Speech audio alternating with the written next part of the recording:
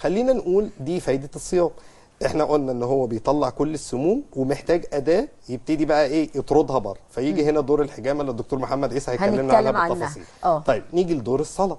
طبعا. الصلاة دي حاجة إعجاز علمي. لقوا إن في كل حركة من الصلاة في عضلة بتتحرك في وتر في مفصل في أربطة بتتحرك. في كل حركة.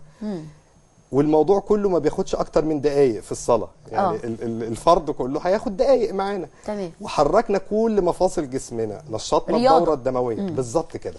طيب لقينا برضو إن وضع السجود ده ده وضع السجود ده اتعمل فيه بحث علمي رهيب جدا. آخر حاجة اكتشفوا إن وضع السجود ده من الحاجات اللي بتعالج عرق النسا.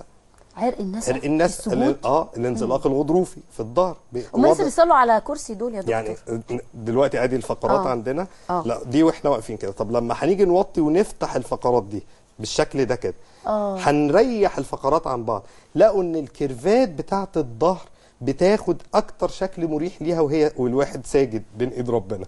الفقرات دي بتفتح فالأعصاب اللي مضغوط عليها تبتدي ترتاح تاخد وضع مريح. إحنا إحنا بنطبق وضع السجود ده من إحدى البرامج العلاجية عندنا في المركز. سبحان الله. آه، الوضع اللي قاعدة ما بين السجدتين. الوضع اللي قاعدة ما بين السجدتين هو فكرته إيه؟ إن أنا بقعد بالمقعدة بضغط على رجلي وعلى سمانة رجلي فابتدي أضغط على كل الشرايين والأوردة اللي في المكان ده. فابتدي الدم اللي متراكم تحت أبتدي أحركه. فيبتدي يمنع لي أي جلطات بتحصل في القدم. الله. دي أبسط الحاجات يعني اللي إحنا إيه توصلنا لها دلوقتي. سبحان. ولو فتحنا في الموضوع ممكن ناخد ساعات يعني عشان نلاقي فوائد يعني معنى كده طب أنا بس وحضرتك بتتكلم آه، بقول لحضرتك في ناس تقول لك لا أصل أنا آه، عظمي وجعني أنا بصلي على آه، كرسي. لا لو عندنا. مشاكل في الركبة فعلا. في الركبة. ما نقعدش القعدة اللي ما بين السجدتين. طب خلينا نقول سريعا كده اللي عندهم مشاكل في الرقبة حاول إن أنت ما تتنيش رقبتك أكتر من 45 درجة. سواء وأنت واقف بتبص لتحت سواء وأنت بتركع مش بنبص وأنت في موضع السجود يا دكتور؟ بس خلي يعني مش أكتر من 45 آه. درجة ما نبقاش- بريحها شوية بالظبط. ولا- 45 درجة مش زاوية قايمة لا هي 45 درجة. أكتر من كده أنا بحمل على الفقرات. تمام. آه، وضع الركوع ما تنيش رقبتي لقدام. وضع السجود برضو ما تنيش رقبتي لقدام قوي.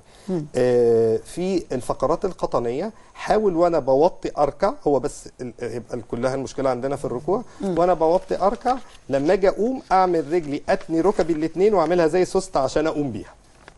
معلش وضح أنا أنا دلوقتي جيت ظهري كده فجيت أركع. فلما جيت أركع ظهري هو اللي وطى. آه. لما أجي أقوم ما أقومش بظهري برضه. امال أقوم بإيه؟ أطلع أوطي بركبتي. وأتني ركبتي الاثنين لتحت وأروح قايم بالركبتين. ليه يا دكتور؟ ده عشان ما احملش على فقرات الظهر ما حملش. تمام. في اللي عندهم خشونة في الركبة ما نقعدش القعدة اللي ما بين السجدتين. بقيه الصلاة كلها متاحة وبسيطة وجميلة. الله المستعان. يعني ما فيش حد بقى ليه حجه يا جماعة. بس برضو إحنا بنشوف بشوف ستات أنا بحس إنهم كويسين وبيروحوا الأسواق وأشوفهم في السوبر ماركت فريره بس